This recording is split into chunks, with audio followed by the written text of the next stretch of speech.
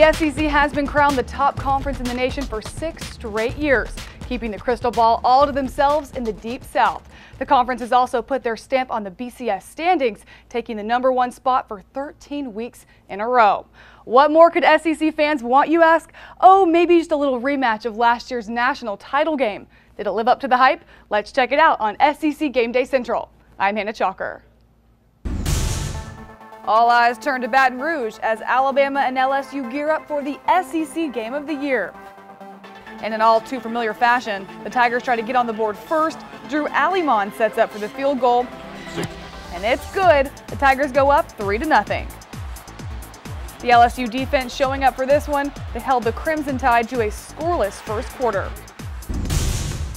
On to the second, first and goal for Alabama. The handoff to Eddie Lacy, touchdown Tide. Lacy gets his seventh touchdown of the season, and Alabama will go up 7 to 3. LSU lines up for the field goal to get within one, but the Mad Hatter calls for the fake. But it does not fool the top-ranked defense in the country. Later in the quarter, pass interference on Ronald Martin puts Alabama at the LSU 17. With 16 seconds remaining in the half, McCarron, pressure, he'll take it himself. Touchdown, Alabama. Tide goes up 14 to 3 heading into halftime. On to the second half, it's time to unleash the Tigers. Alabama, they'll give it to Hill and they just have.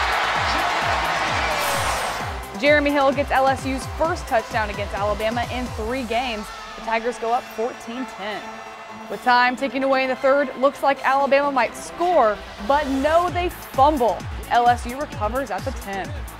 Clutch play by LSU getting out of the shadow of their goalpost. Watch the great effort by J.C. Copeland. Action. Got him, flip it out, got him. Ever. It's Copeland. Copeland. Copeland takes it to the Alabama 45 as the third quarter ends.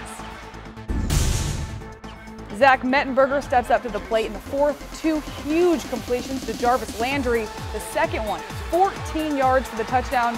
LSU goes up 17-14.